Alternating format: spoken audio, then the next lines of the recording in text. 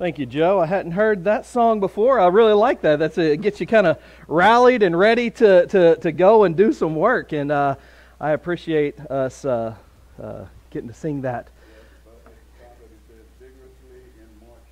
Vigorously in March time. And that's what we're talking about today. We're going to be talking about salt and light and what we, our responsibilities are in this world. But before we get into that, I was gone last week. I, I was in, at the end of January, I went to Malibu, California at Pepperdine University, all at the expense of drug dealers. Now, you might be thinking, what in the world are you talking about? It's not the kind of drug dealers you might be thinking of. We're talking about a pharmaceutical company, and this pharmaceutical company, though some of us have issues with pharmaceutical companies, this particular one gave $1.25 million to help preachers get better at preaching. Specifically, Church of Christ preachers. Pepperdine University uh, applied for a grant with the Lilly Foundation, and they gave $1.25 million to help preachers get better at preaching. So, this is a company that cares both for your soul and your body. So, I think I kind of like that, that, that foundation. Sounds pretty, pretty interesting to me. And they paid for a really nice experience in Malibu, California. And when we got there, I get and I look out over the Pacific Ocean. You can see up in this picture right here, that's Malibu. You look out over the Pacific Ocean. In my hotel room, I had a corner room, and one of the windows looked out over the Pacific, the other window looked out over the mountains of Malibu. It was absolutely beautiful. They gave us dinners, they gave us lunches, they gave us breakfast at Pepperdine University, and, and we ate uh, beef tenderloin for lunch and, and all sorts of wonderful breakfasts. And at night, they took us out to these different restaurants. They took us to one restaurant that Lady Gaga often rides her horse down to. Not that any of us are Lady Gaga, and maybe some of you are, I don't know. And we ride our horse, she rides her horse down to this, this wonderful restaurant. And they sat us all at this table. There were 24 ministers that, that they asked to be part of this program. And they fed us all sorts of appetizers. And I remember eating these different flatbreads, and I think flatbreads are just pizza, right? But maybe California they call them flatbreads to be fancy. And they gave us this wonderful appetizers. And then I see at the end of the table, or in the middle of the table, there was this uh, beef tartare. And the guys didn't want that. And I said, hey, why don't you pass that down to me? I've never had beef tartare. I've had tuna tartare, and I assume I like some rare meat. And they pass it down to me, and I grab it. It's on this thing that looks like a little bit of a corn chip. And I take a big bite of it. And it is not beef tartare. I might have given it away. If you look at the picture, that is beet tartare. Beet tartare. If you're asking, beet tartare is not good. I hope I didn't offend any beet fans in here. So I ate it. I didn't ask for any more. I said they can take it back to the middle of the table. But they did right by me. They brought me a, some fresh caught fish with a wonderful sauce, and then they gave us macadamia nut brownies. The next night, they took us out to a place where they actually gave us beef and chicken and, and uh, crab cakes. They had other flatbreads there, but this one was butternut squash flatbread. I already was duped by the beet tartare. I tried it, and it was actually really good.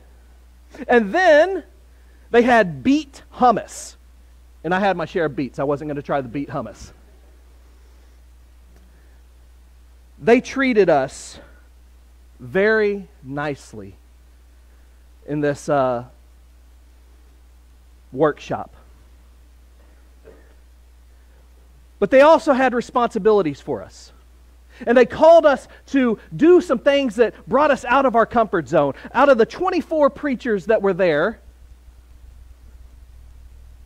they asked us to come up and do these sermonettes or just different things so they could critique us in front of everybody.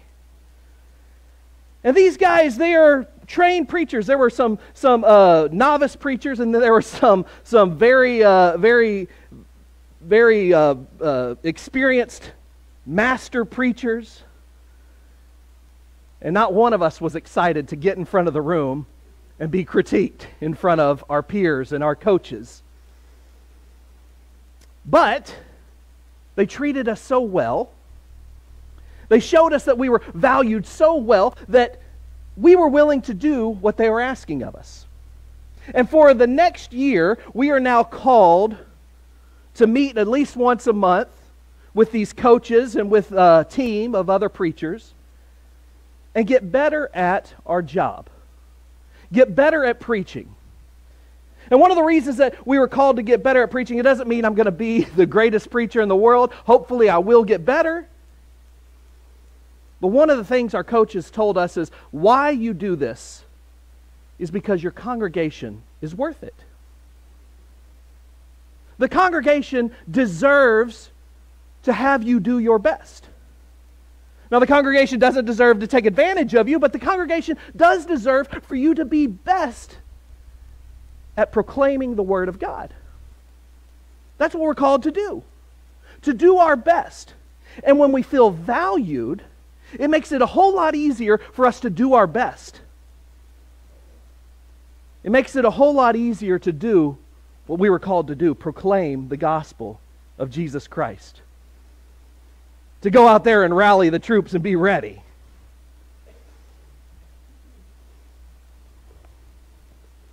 Matthew chapter 13, or chapter 5, verse 13. You are the salt of the earth. But if salt loses its saltiness, how can it be made salty again? It's no longer good for anything except to be thrown out and trampled underfoot.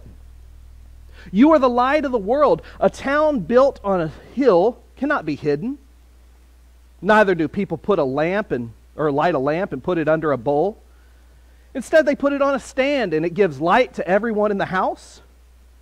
In the same way, let your light shine before others, so they may see your good deeds and glorify your Father in heaven.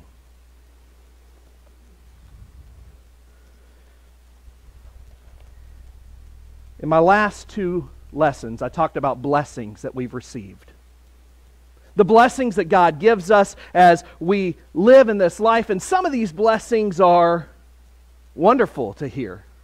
It tells us that we're blessed when we're poor, whether it's physically poor or spiritually poor. It tells us that we are blessed when we seek righteousness, seek to please God.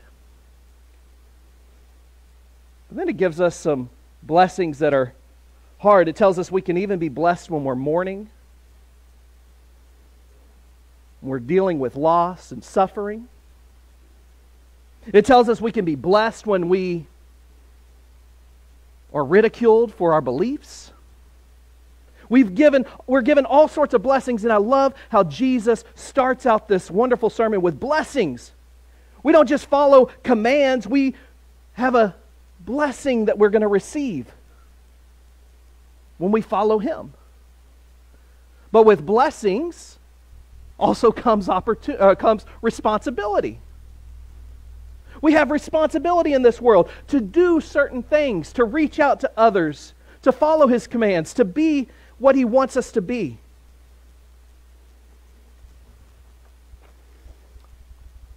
I love the creation story.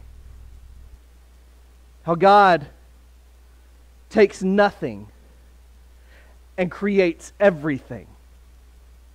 He creates everything out of nothing. And, and we have this wonderful world that we live in. We have oceans. And we have the piney woods of East Texas. We have fish in the sea and birds in the air. We have the animals that roam along the ground. And we have people that we have a relationship with. And he gives us so much variety in this world. If you're a sci fi fan, if you watch Star Wars or Star Trek or anything like that, you'll notice that on the planets of these sci fi films, I've said this before, it, it's, it's interesting because they're all the same thing. So, like in Star Wars, they go to Cloud City and it's all just a giant city of big buildings. And then there's desert on Tatooine where Luke Skywalker's from and it's all desert. The whole the whole planet's desert. But God doesn't do that for us. God gives us variety. The beautiful oceans of Malibu, the piney woods of East Texas and this is pretty neat. God gives us this variety, but he gives us responsibility with this world. In Genesis chapter 2 verse 15, it's going to show us our responsibility. It's going to give us guidelines. It's going to give us consequences when we don't follow these guidelines. And it's going to say we're not alone doing this. It reads in chapter 2, verse 15 The Lord God took man and put him in the Garden of Eden to work it. Take care of it. And the Lord God commanded man, You are free to eat from any tree in the garden, but you must not eat from the tree of knowledge of good and evil. When you eat from it, you'll certainly die. The Lord God said, It's not good for man to be alone. I will make a helper suitable for him. So look at what God did. He created this beautiful world, and then He gave us responsibility. He, he has us in here to work it. God rests on the seventh day. And then he lets us take on a job. He lets us work in this beautiful world. I once you would take uh, kids on wilderness trek. Uh, some of our students went on wilderness trek this uh, past year. And one of the things that the guides on wilderness trek, it's, it's taken a youth group up into the mountains and they get to uh, climb a mountain and they get to camp and they get to cook their food and, and do all the things that you do in the wilderness for a full week. And one of the things that the guides tell the adults that are in the group, they say, sit back, unless it is a safety issue, let the kids lead. That's pretty interesting. Let the kids lead. Why? Because it helps them grow, it helps them do better and so they say, even if the kids are going to ruin your dinner, and they do, let them lead. It's hard for adults not to let kids lead, or to let kids lead, right? We see they're doing wrong and we want to jump in, but we weren't supposed to here. And look at what God does for us. He says, I created this wonderful world, now work it. God rests and He's here for our safety. He hears to reach out. But He gives it to us. He gives us responsibility. And He gives us guidelines. Don't eat from this tree. And now we have a whole list of guidelines because they ate from the tree, the one thing, right? Well, this book isn't just a book of commands. It's a love letter from God to us, showing us how we can get close to God, how we can see who He is, how we can go and be salt and light into the world. And in this book, we find consequences when we don't follow him. But he also says we're not doing it alone. He says, it's not good for man to be alone. I'll create a, help, help a, suit, a helper suitable for him. And so God created Eve. And that's one of the things we see in a marriage is we're not just in this alone, but we have a helper. But even if you're not married, God's given us this spiritual family and we have helpers, right? That's what the church is for. To help one another. And with this responsibility, with these guidelines, with the idea of being helpers to one another, what are we called to be? Matthew chapter 5 verse 13, you are salt of the earth. But if salt loses its saltiness, how can it be made salty again? It's no longer good for anything except to be thrown out and trampled underfoot. So he calls us salt. And most of us know what salt is, right? We all know what salt is. It's the seasoning that we put on our food.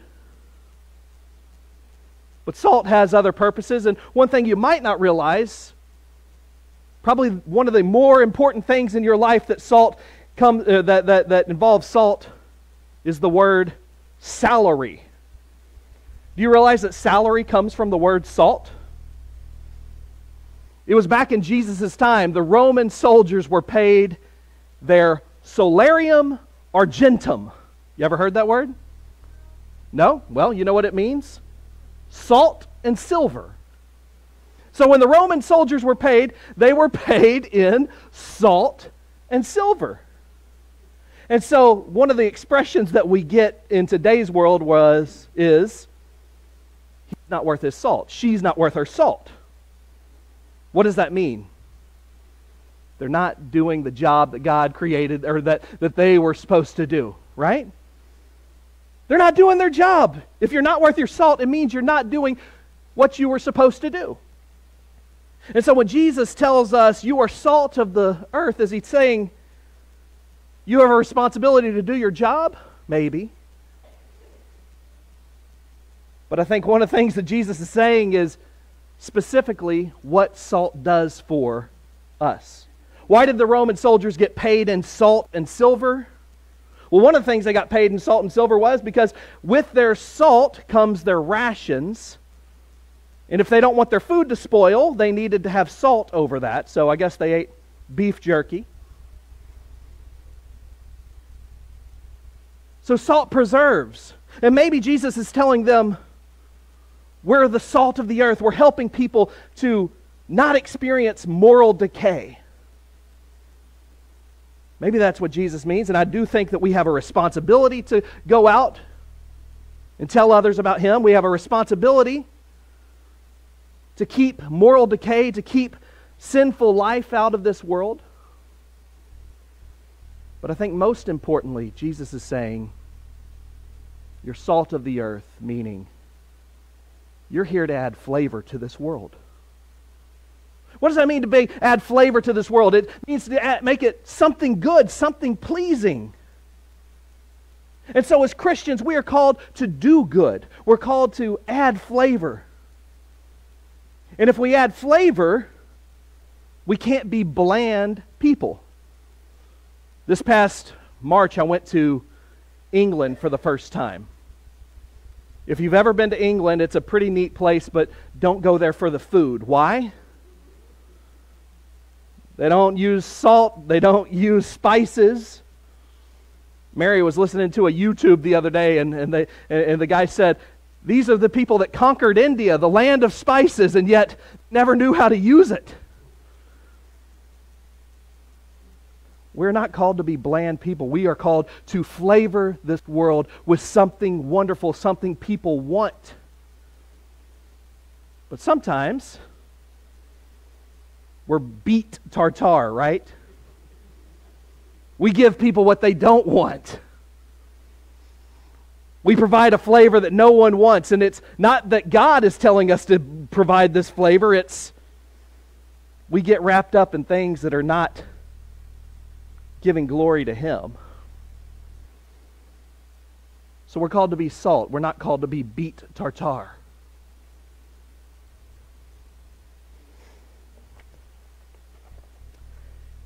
Then he tells them, You are the light of the world. A town built on a hill can be, cannot be hidden. Neither do people light a lamp and put it under a bowl. Instead, Put it on a stand, and it gives light to everyone in the house.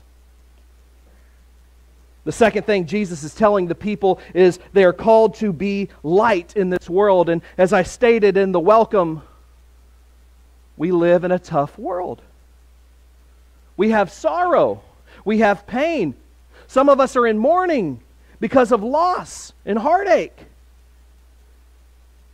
And God says, I have a responsibility for you to go out and be light to the world. Shed your light in this dark world. And how do we do that? We do that by being salty. We're in a tough season right now. We're about to start another political season, right? And sometimes, instead of being salt and light, we get wrapped up in our political affiliation, right? And that becomes more important than being salt and light in this world. And, and, and this, this gets all wrapped up, and it's hard to not be beet tartare to the world. But God says, be salt. Know what message that you're going to be giving to people, whether it's verbally, whether it's online. Remember, we have a responsibility to make this world better, not to add to the darkness. So we're called to be light. John 1, verse 4 says, In Jesus is life. And that life was the light of all mankind. The light shines in the darkness, and the darkness has not overcome it. What's so beautiful about light is it doesn't matter how black, how dark this world can be. You shine one little light and it cuts through all of the darkness, right? There's nothing that can make light go out. The darkest dark cannot overcome the light. And while we have a world that might be against your message, if we're truly being salt of the earth, our light is going to shine and people are going to see our God. That's why he says in verse 16,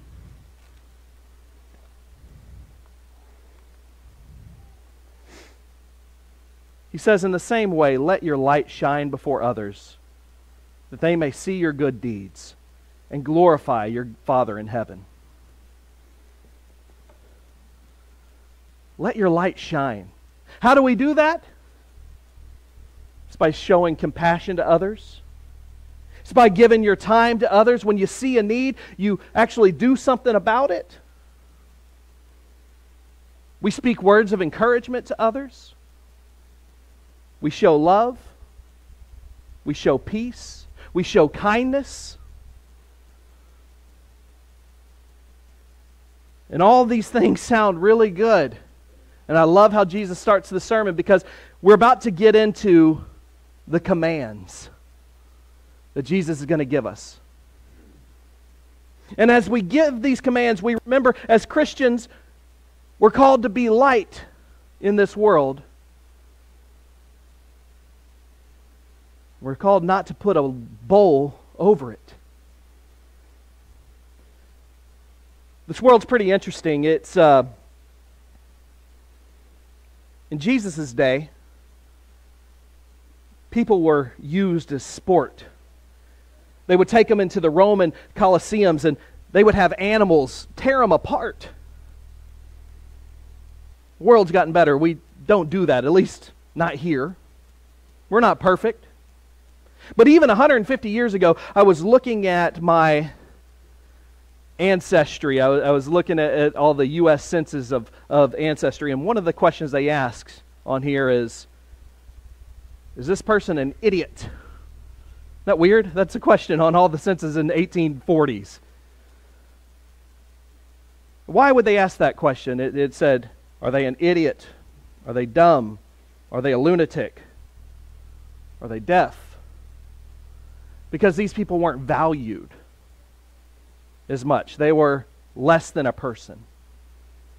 We don't ask that question on the census anymore. Why? Because we're more tolerant, and that's a good thing. But on there, there's other ways that we're so tolerant that we forget the message of Jesus Christ and we put a bowl over this. Tolerance doesn't mean that you don't tell people the good news of Jesus. Tolerance shows kindness, but it doesn't put a bowl over us. And one of the things that we're called to do is goodness in the name of the Lord. So they don't just praise us for the good things we do, but they praise God. They see our good deeds and glorify our Father in heaven. We're called to be salt and light. We're called to do good for this world. We're called to add flavoring to this world. We're called to let our light shine out. We're not called to be people that just blend into the world, but to provide something good. If you want to provide something good to this world, if you want to show uh, that we're called to live pure and show goodness, you can do that. But the first step is to give your life to Jesus Christ. We do that by being baptized into Him, raised with Him. But we don't stay in those waters. We go out into this world and we add flavoring. If we can help you with anything today, please come while we stand and sing.